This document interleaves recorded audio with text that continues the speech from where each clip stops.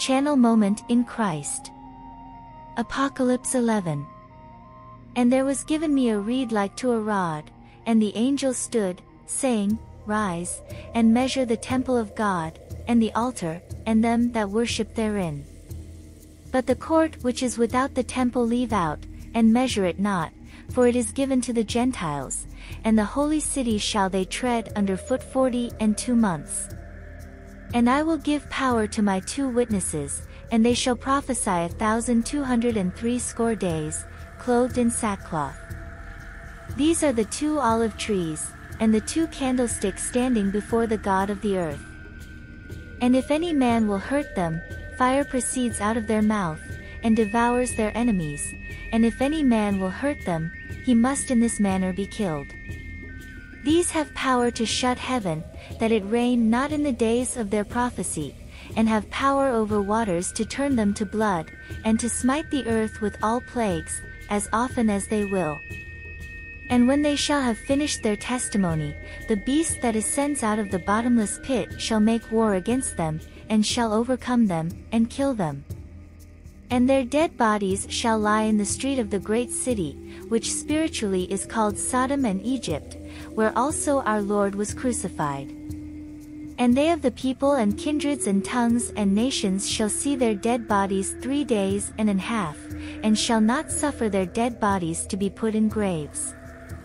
And they that dwell on the earth shall rejoice over them, and make merry, and shall send gifts one to another, because these two prophets tormented them that dwelled on the earth. And after three days and then half the Spirit of life from God entered into them, and they stood on their feet, and great fear fell on them which saw them. And they heard a great voice from heaven saying to them, Come up here. And they ascended up to heaven in a cloud, and their enemies beheld them. And the same hour was there a great earthquake, and the tenth part of the city fell, and in the earthquake were slain of men seven thousand, and the remnant were affrighted, and gave glory to the God of heaven. The second woe is past, and, behold, the third woe comes quickly. And the seventh angel sounded, and there were great voices in heaven, saying, The kingdoms of this world are become the kingdoms of our Lord, and of his Christ, and he shall reign for ever and ever. And the four and twenty elders, which sat before God on their seats, fell on their faces, and worshipped God. Saying, We give you thanks, O Lord God Almighty, which are, and were, and are to come, because you have taken to you your great power, and have reigned. And the nations were angry, and your wrath is come, and the time of the dead, that they should be judged, and that you should give reward to your servants the prophets, and to the saints, and them that fear your name, small and great, and should destroy them which destroy the earth. And the temple of God was opened in heaven, and there was seen in his temple the ark of his testament, and there were lightning, and voices, and thunder, and an earthquake, and great hail. Apocalypse 12 And there appeared a great wonder in heaven, a woman clothed with the sun, and the moon under her feet, and on her head a crown of twelve stars. And she being with child cried, traveling in birth, and pain to be delivered. And there appeared another wonder in heaven, and behold a great red dragon, having seven heads and ten horns, and seven crowns on his heads. And his tail drew the third part of the stars of heaven, and did cast them to the earth. And the dragon stood before the woman which was ready to be delivered, for to devour her child as soon as it was born.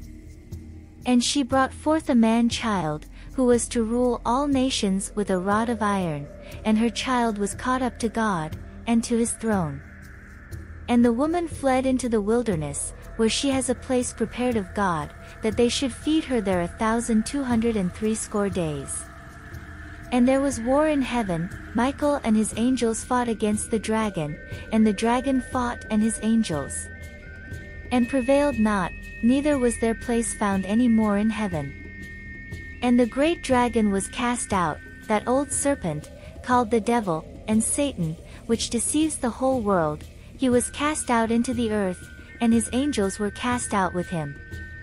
And I heard a loud voice saying in heaven, Now is come salvation, and strength, and the kingdom of our God, and the power of his Christ, for the accuser of our brothers is cast down, which accused them before our God day and night. And they overcame him by the blood of the Lamb, and by the word of their testimony, and they loved not their lives to the death.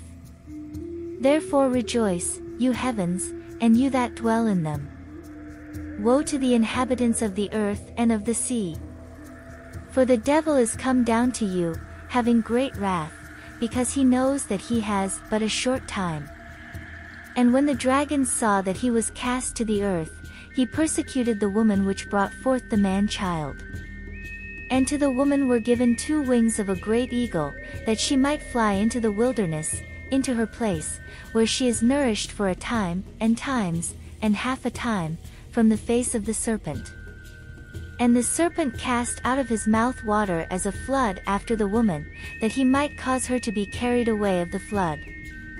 And the earth helped the woman, and the earth opened her mouth, and swallowed up the flood which the dragon cast out of his mouth. And the dragon was wroth with the woman, and went to make war with the remnant of her seed, which keep the commandments of God, and have the testimony of Jesus Christ.